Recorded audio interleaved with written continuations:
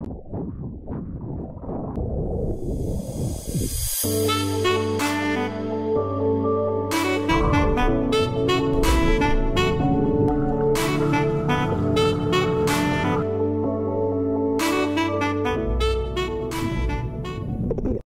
い、こんにちは。北島アカーティクスのケンピーです。えー、本日のカット TV は、ストロークの I 字と S 字について、えー、ちょっと解説していく動画を撮っていきたいなと思います。えー、クロール、まあ、手を回すこの軌道についてですね、まあ、この軌道が I 字なのか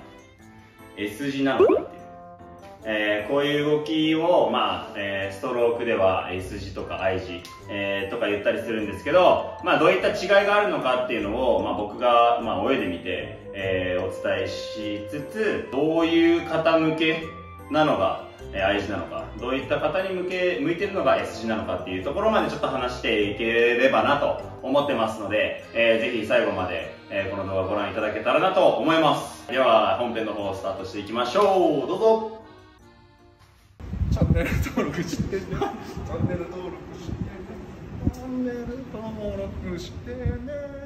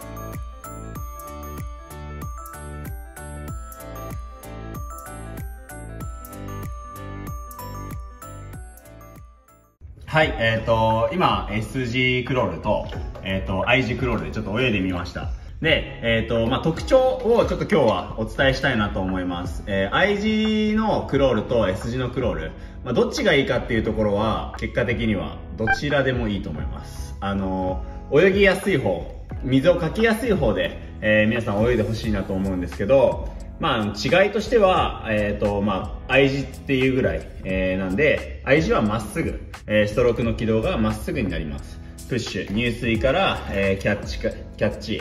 で、プル動作、で、そこから最後プッシュ、えー、フィニッシュの動作っていうところが、まあ、一直線の動きに近いのが I 字ストロークですね。まあ、近年ちょっと流行ってる動きとしては、まあ、この I 字になります。えー、S 字のストロークに関しては、えー、今の I 字のこのストロークの軌道が、えーまあ、S 字になるっていう、えイメージですね。S 字っていうのは入水してから少しこう外に手が広がって内側に入ってで最後フィニッシュにかけてまた外側に向かっていくようなこういう軌道を、え描くようなストロークの仕方なんですけど、え、違いとしては、まあ、やっぱトップ選手、え、早く泳ぐ早く泳ぎたいスピードを出して泳ぎたいタイムを上げたいっていう方はどちらかというとこの I 字ストローク、えー、先ほどちょっと僕がお見せした I 字ストロークっていうのが、まあ、近年では主流というかえー、まあ、テンポも上がりやすいっていう風に言われてますし、まあ、早く泳ぐ上では、ま、効率がいい、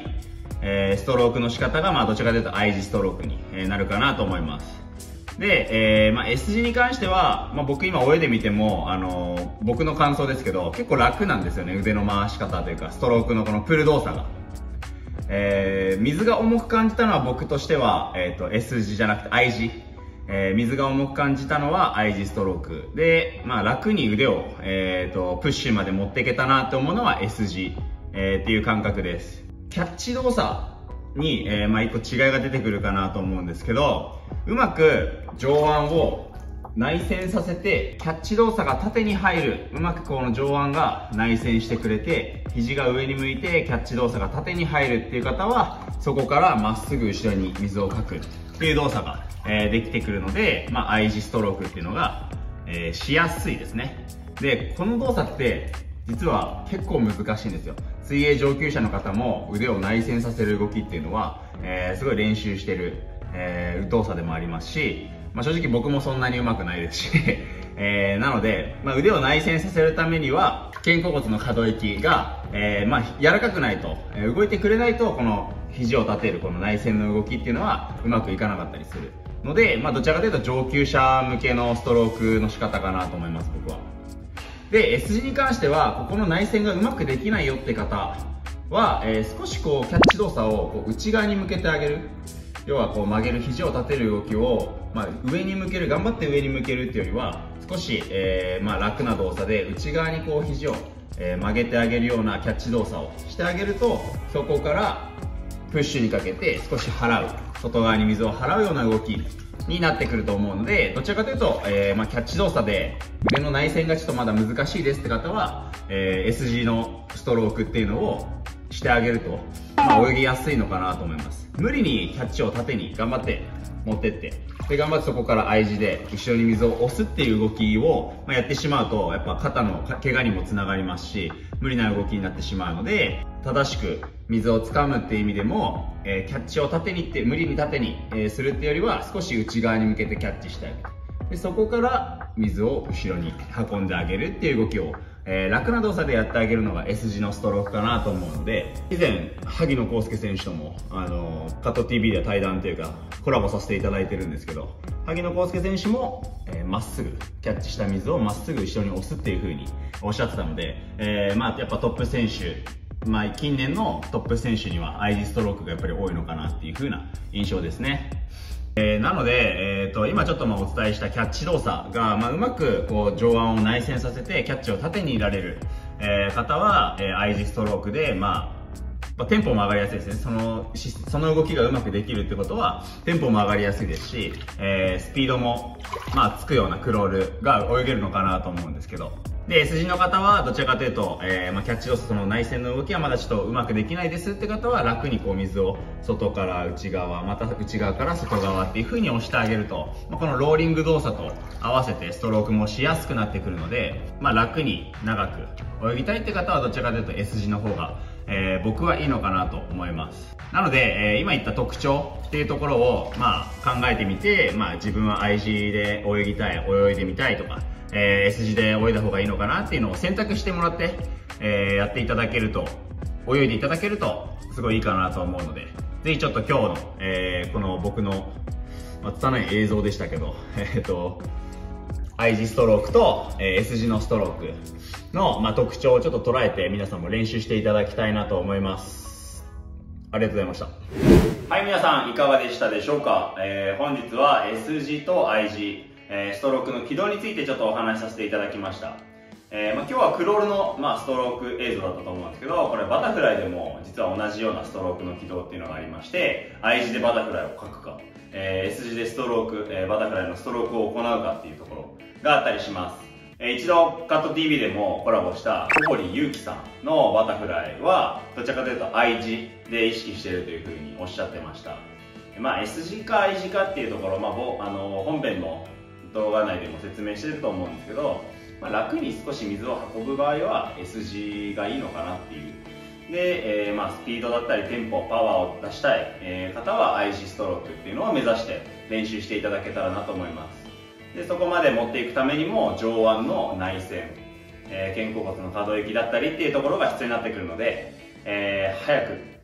タイムを出したいかっこよく泳ぎたいバタフライ、えークロール力強く泳ぎたいって方は相槌ストロークを目指して練習してみてください。ここまで見ていただきありがとうございます、えーこの動画が良かったなと思う方は高評価とチャンネル登録ぜひよろしくお願いします。また次回の動画でお会いしましょう。バイバイ。